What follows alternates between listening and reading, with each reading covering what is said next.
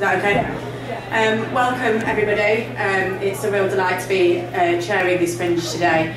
I'm Louise Haigh. I know you were expecting Lisa Nandy, so apologies um, for that. But I'm uh, Labour's prospective parliamentary candidate in Sheffield Heeley, and it's a particular privilege for me to be chairing today because um, I was actually involved with Lisa in setting up the All Party Parliamentary Group on International Corporate Responsibility, and until about three or four years ago, I helped coordinate it as well. So You've got a fantastic panel here today to talk about the subject of business and human rights. And I think you know it's, it's fantastic that you're all here today because in the wake of the financial crisis and with scandals like the Rana Plaza disaster and uh, going back further than that even, scandals like Vedanta and Trafigura, there aren't very many more important debates, I don't think, for us to have in the Labour Party about the role of corporates in all our lives. We see this at the moment with the negotiations over the Transatlantic Trade and Investment Partnership. Um, and so really grateful for the work that CORE do and that the APPG do as well on really pushing this agenda forward.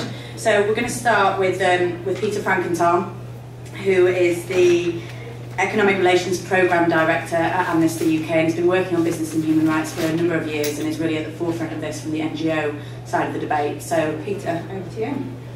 Thank you very much, Louise. Good evening, everyone, and thank you to the Corporate Responsibility Coalition CORE for convening this event. Amnesty International and many other NGOs are part of CORE because we believe through the CORE Coalition we can campaign and do our advocacy more effectively than if we're all working separately on corporate accountability issues. Um, the title is Labour Leadership in Business and Human Rights. I think the most important element of Labour leadership is to have a vision of what business and human rights really means. What is responsible capitalism and what, what is a world like where companies respect human rights? Because if we don't get that vision from the leadership of the Labour Party, it's very difficult to imagine how Labour in office can help create a world in which businesses have more positive impacts on human rights. So that's the very first element of um, a vision. In pointing to a world where companies um, exist to serve the purposes of society, um, rather than to maximise shareholder value in the short term, which is a widely perceived goal of companies, certainly um, in terms of companies' own thinking about their purpose, and financial markets thinking about the purpose of companies, in trying to challenge this goal, the Labour Party would not be setting the cat amongst the pigeons because increasingly um, financial analysts and people from within the industry are trying to challenge the short-termism that makes it very difficult for companies to respect human rights and have positive impacts on the environment and on sustainable development. I was at a meeting at Cass Business School just a few days ago where financial journalists, financial analysts, commentators were saying that maximising short-term value does not serve the purposes of society and we need to look again at the very purpose of the corporation. Um, however, it's not enough just to have a vision of a world where companies respect human rights. A future Labour government will need to will the means to make this happen. And that means changing the ground rules by which companies do business. And when I say changing the ground rules, this would mean reviewing the duties of directors and reporting requirements in company law. It would mean re reviewing criminal law provisions against companies and why such provisions are very infrequently used Let's take the example of Trafigura, a UK registered company who conspired in the UK to dump toxic waste in the Ivory Coast. Toxic waste was dumped, leading to tens of thousands of people who suffered debilitating health effects. A dossier of evidence was presented to the Crown Prosecution Service. They said that it's not a matter for them, it's a matter for the police. The same dossier of evidence was presented to the police who said, don't come to us, go to the Environment Agency. And the Environment Agency said, it's not part of their remit. There needs to be a review of criminal laws applicable to companies. there needs to be a review of access to civil litigation, to civil remedies in the UK courts, in particular on the part of victims of UK corporations overseas. There needs to be a review of some of the legal protections that companies enjoy. In particular, a review of the balance between commercial confidentiality and public interest. This year is the 30th anniversary of the toxic gas leak in Bhopal. In the immediate aftermath of that toxic gas leak, around 15,000 people died and tens of thousands of people suffered long-term illness. The company concerned Union Carbide, a subsidiary of a US company, refused to give doctors the chemical composition of the toxic gas of the compound that had escaped. They said it was a trade secret. And I wonder if today, in similar circumstances, in India or in many other countries, companies wouldn't use commercial confidentiality in a way that is grossly detrimental to the protection of, of human rights. There also is a need, as part of looking at the ground rules of, um, under which companies operate, to look at rules of trade and investment, and to look at the ways in which those, those rules privilege companies. Louise mentioned the Transatlantic Trade and Investment Partnership. These kind of agreements often make it very difficult for states to intervene to hold companies accountable. Any steps that states do to intervene, even for the protection of human rights and the environment that affects the profitability of a project, could be used as a basis for the company to go to investor-state um, dispute settlement, and that could lead to very, very large damages against the state. So it's really important that all international trade and investment agreements should be scrutinised um, by the government for their implications for human rights and for the ability of the government to intervene. Um, clearly, there's a limit to what a future Labour government will be able to do unilaterally in terms of changing the ground rules.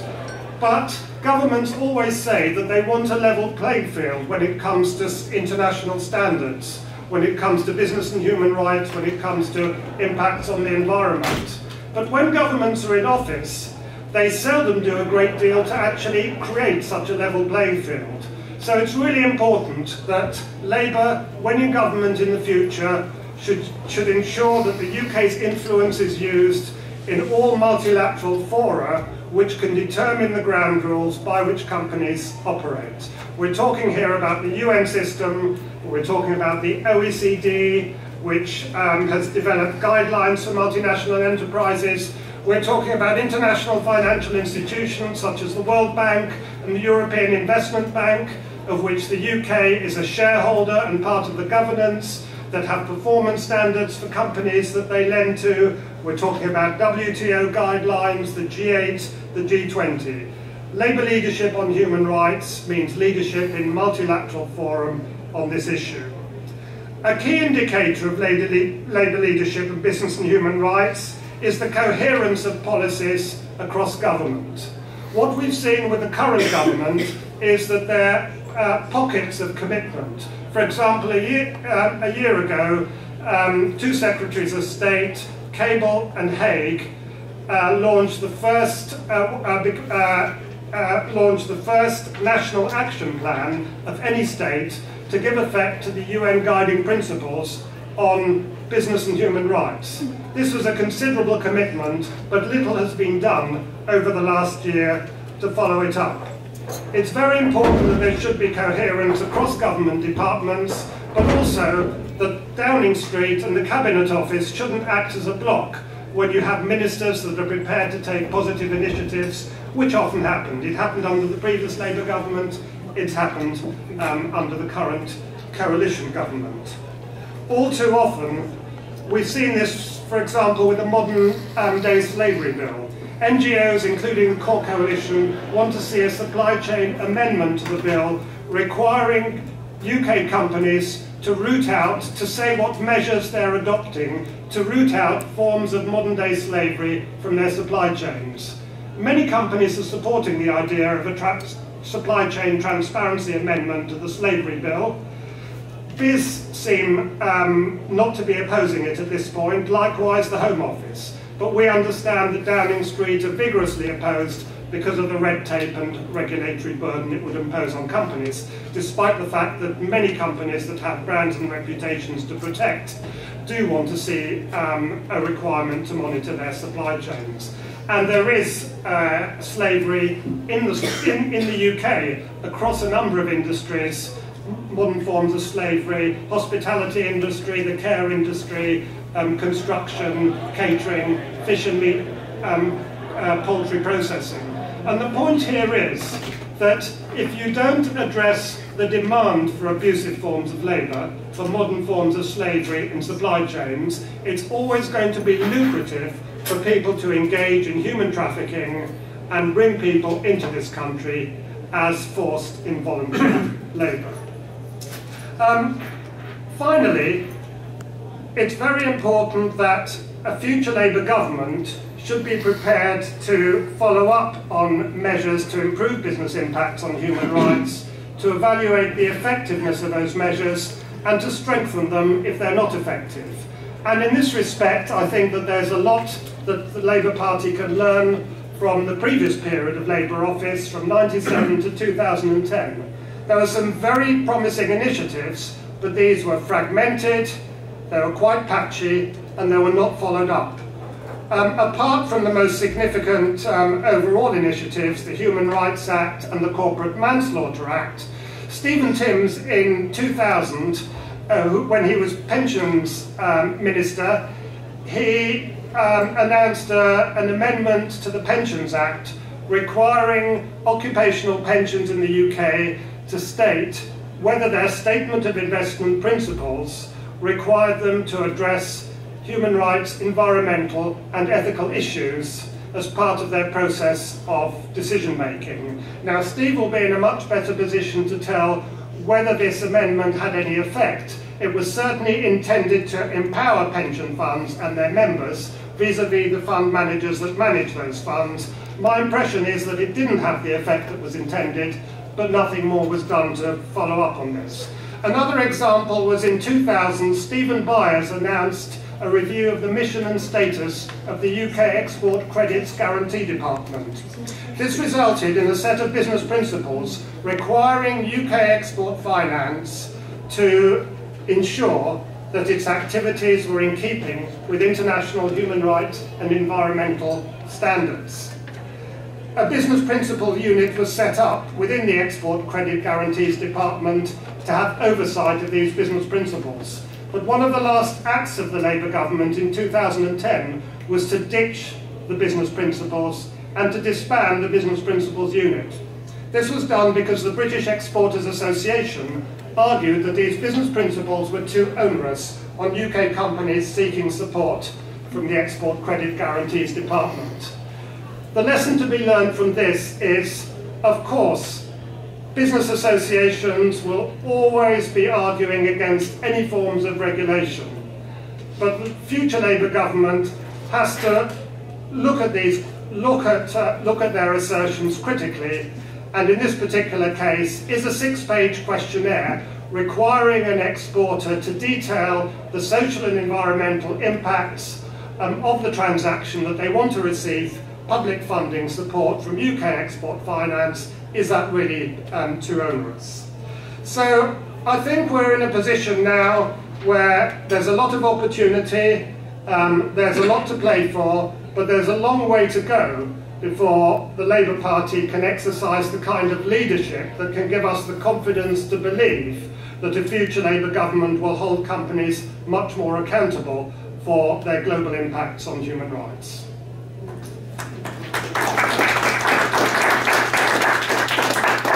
It's a very compelling narrative of the, uh, scale of the problems, but also of the very many policy areas that this debate touches and the need for a coherent narrative and a vision from, uh, from the Labour Party. Um, speaking of which, now I'd like to move on to Richard Howitt, who is our MEP uh, for the East of England. He is the um, Special Rapporteur for CSR, have I got that right? Yes, Good.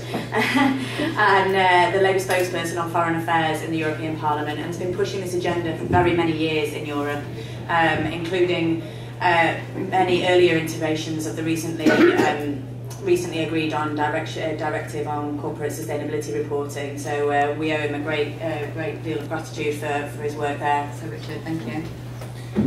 Uh, good evening, everyone. Uh, to Marilyn, to Peter, Steve, who did a talk later, uh, I pay huge tribute to the work. And the work we do is a response to the work that you're doing. Uh, and I'm very pleased that when I was first working on this now more than 10 years ago, there wasn't a European equivalent of the Core Coalition, and one of the things that you did was to get the European equivalent, and by having that, we're now in a position to have got some of the things that you're campaigning for. So thank you, and I'm very proud to be at your uh, Fringe event. Uh, and for Labour Party delegates who perhaps don't follow this in with all the same history that, uh, some of us, um, although Peter is absolutely always right to challenge us, uh, he's a good friend, and if he didn't, I would be worried. Um, the 2006 Companies Act, that Margaret Hodge actually, to her great credit, was the final person who pushed that through, was one of the leading uh, examples of putting through corporate responsibility legislation in Europe uh, at the time, particularly in requiring supply chain responsibility. We were, the, we were the country to do that and to really forge the argument on saying companies couldn't just say, it's somebody else, it's not us, because it's down our supply chain somewhere. Uh, and Labour certainly shouldn't have abolished its commitment to what was called, I think, the Corporate Global Citizenship Union Foreign Office, I think was a mistake, for example. Uh, but we did some good things in office, and we're here because we're going to do some good things in office next time, aren't we? Now, um, Kerry's here as well, and we'll talk about that. So I want to say next a word about what we have done at the European level, and you were kind enough to say that in 1999, which is so long ago, everyone can't remember, right, that was the first time that I put a resolution to the European Parliament saying that companies should, in their annual accounts under company law, report on their social and environmental impact. And we got it through, and we got it through three times since. And on each occasion, blood has been spilt. It's been so difficult to get through. Uh, uh, and on each occasion, the business lobby, uh, the mainstream business lobby, I should add, has said this is the most radical, awful, terrible thing that will bring uh, plagues of locusts and uh, monsoons and all the rest of it, and it shall never happen, right? Uh, and folks, we did it. We did it in April of this year. It was one of the three aims of the Core Coalition and its European equivalent. And for a whole range of factors that there isn't time to tell you about, but I'm I've written about, you can read it, and so I'm happy to, to, to chat with you outside the meeting. But for a whole range of factors, what used to be radical and utopian and unaffordable and extreme and anti-business and all the rest of it, which it was never any of those things, right, is now a requirement for all listed businesses, 11,000 listed businesses, and something called public interest. You see, they're cheering me already. I think you could join in, might you? 11,000 11,000 big businesses across the whole of Europe required in their annual accounts to report on their impact on society, on the environment, and something that's changed since 1999 thanks to Peter and his colleagues, human rights, also anti-corruption and also diversity policy. Uh, and it's not perfect, of course, and people can say it should be better and so on, but it's a very, very serious commitment. It's got to be inside the annual accounts. Uh, people say it doesn't have to be audited. It does partly have to be audited because the process by which it's done has to be audited. People say, well, it's comply or explain, so they mightn't do that, but the pension fund regulation Peter was talking about uh, did that, and most of them are doing it. Denmark did and explain, 96% are doing it. And in fact, if you ask the European Commission and look at their guidance, uh, uh, it's not comply or explain anyway, it is more comply than comply uh, or uh, explain. Like Margaret Hodge and the Companies Act, it involves the supply chain. And that was one of the hardest things, by the way, to get through the European Parliament, but we did it.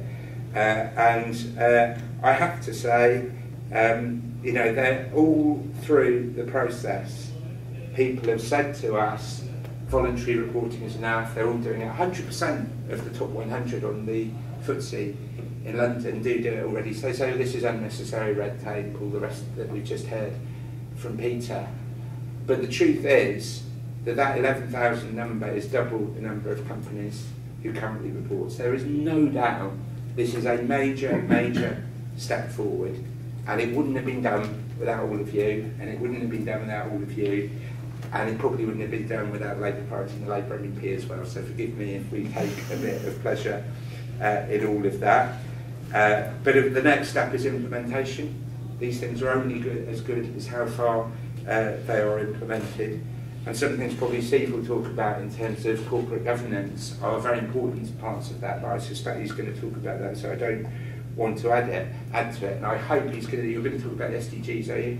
Yeah, so I won't talk about that, but one of the next steps is taking that from the European level and taking it into the global level. And I'm working with Steve and his coalition to help deliver that and trying, crucially, to help deliver European support for that. But because he's going to talk about that, I'll pass over that in terms of uh, of my contribution.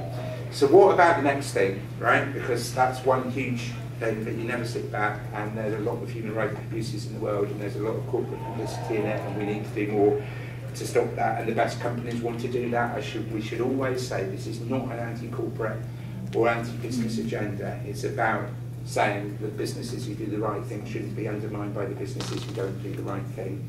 So the next step, the SDG, Steve is going to talk about that, but I will just say that the Danish and the French governments have played a very leading role in helping us in the European Parliament to deliver that directive and played a very leading role in the discussions that are taking place at the UN.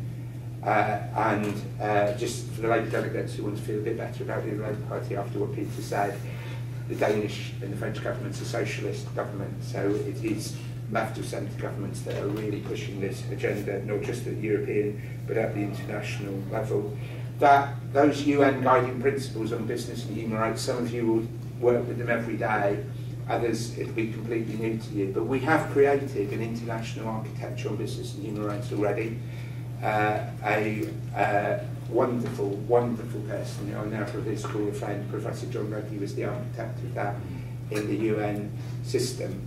Uh, and uh, again, we can discuss it in the discussion and questions, but essentially now, again, we're at the level of implementation.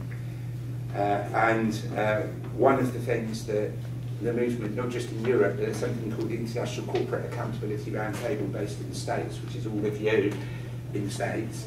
Uh, and they are pushing this idea of national action plans so that each country is required to have implementation of those guiding principles. And what Peter was talking about in terms of the uh, Hague Cable document was Britain's contribution to that there because of this international pressure for countries to do it. And it's very, very good that Britain has to do it. Don't I put that on record and civil service even consulted me, which probably William Hague doesn't know about because he might have sorted it out, but never, nevertheless. But what the British plan does, it talks a lot about, when you looked at, there are three pillars to the guiding principles on business and human rights. Uh, pillar two is about the principles of corporations too, principle three is about access to justice, I'll come back to that. But pillar, pillar one is the responsibility of states themselves to enforce uh, human rights with their businesses. And it's pretty pallid what the British document says under this government. It's a lot of talk, a lot of discussion, a lot of dialogue, a lot of partnership, yeah, and very, very little binding action of any kind. There's one good bit about investment treaties, and I think it's very, very important that we hold them to that and we hold through them the European Union to that. But essentially, it's very a lot of talk and not very much commitment of action. And again, for people who want to feel better about this agenda, the Labour Party, I took to the National Policy Forum in July a commitment to implement the guiding principles uh, on business and human rights, and Kerry I'm sure we'll talk about this in more detail, and her colleagues supported that, and it's in the documents that are being voted in the Labour conference this week for the manifesto for the election. So this is something that we've made good progress on. So the National Action Plans is the next one. Access to justice. There's a very brilliant lawyer called Richard Meeran who works for Leigh Day, who's the leading law firm who work on prosecutions against companies who are responsible for human rights abuse. And he came along to the annual forum on business and human rights in Geneva in December and he made a speech that would go down well at this Labour Party conference about cuts in legal aid. Because actually the legal aid regime, which is so unpopular with all of us in Britain, is stopping the cases that he and his colleagues take to enable uh, extraterritorial prosecutions for victims who are unable to get justice within their own countries. And access to justice, or in reality barriers to access to justice, is a, a huge issue here. Uh, and in November, in the European Parliament, I'm hosting a conference with leading academics to try to make some steps forward in terms of that access to justice so victims can uh, um, go through. The conflict minerals issue, I've learned this very quickly, folks, uh, so some of it hopefully means something and we can pick it up in questions. But America has done better than Europe on conflict minerals in terms of the requirements on reporting. And many of you will know the examples of the DR Congo and the cobalt and uh, in mobile phones and how that contributes to uh, profits for people who've been responsible for human rights abuses in that country. It's only but one example. And the European Commission, this current one that's just coming to an end, promised to bring forward legislation to match American legislation on reporting of conflict minerals and has abjectly failed to do so. The Socialist Group, by the way, is, is on record as saying we absolutely support that and they're pressing for it. But it's another area where we need to see uh, the action promise turned into action realised. What Peter said about ISDS, again, nobody on the streets of Manchester knows what ISDS is, but secret tribunals that corporations have access to to sue governments in, in reality to stop governments regulating them is an absolute, absolute obscenity. And I have opposed this all the way through these debates about corporate responsibility. And I understand why investors want protection and need protection. I'm not against that. But what we have said at every step is that if we have trade and investment agreements, there should be binding rights and protection for investors, fine. But why not binding rights and protections for workers whose, whose, work, whose work rights are abused? Why not binding rights and protection for the environment, right? And if there was that, we'd all be in favour of that. But what we're not in favour of is secret tribunals to enable corporate interests to be able to stop governments regulating them, right? On the one hand, binding with huge amounts of compensation, and workers' rights and environmental rights simply being voluntary commitments with no mechanism for them to be enforced. And there is a case, if it's Argentina, sorry, the Argentinian the audience, there, you know, there is a case to say that in some countries investors can put money in, it can be swiped away, and you need some legal provisions, right? Because you haven't necessarily got a functioning court system which can be used effectively in that case against strong governments. Right? It's not the case in the United States and Canada, Britain and France, is it? There's court systems there, and if companies feel they've been unjustly dealt with by governments, then they have ability to go to law in order to claim that. And so I think it is absolutely essential that the, the debate, which is a separate debate in the movement about the, the US agreement, TTIP, and our debates about corporate responsibility are not kept separate, but together we make the point that we are against binding rights for investors that are not shared by rights for workers and for the environment too. And as Peter, I think had near the very end, but it's important to say it, right? One of the big obstacles to all of this is that people say that there's a fiduciary duty to always make the maximum profits possible uh, and that there's shareholder primacy and shareholders must always be answered before anybody else in society. And the leading academics, and again we've had seminars in the European Parliament on this and there's now a whole project taking it through, right? It's not true. Those those ideas exist there in the ether and people believe them, but they're not actually written down as part of binding company law anywhere. They're just quoted, right?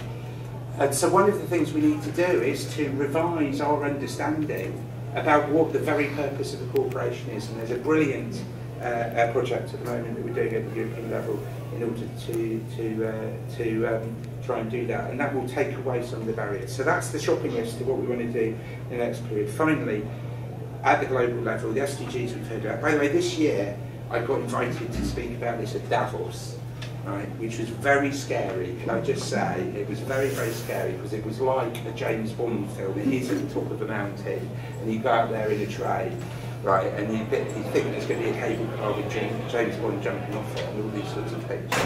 As, but I actually got as far as being invited to talk at Davos about this stuff, right? And what is interesting is they realise that short-termism is chronically, chronically holding back the international economy. And that's our agenda. And I didn't go to it, but the City of London, the corporation, the City of London, had a whole conference called Inclusive Capitalism. And I know some people in the audience who think capitalism is always a bad thing. But you know, the very fact the, the biggest capitalists in the world are coming and having a debate not a million miles away from the debate that we're having in this room.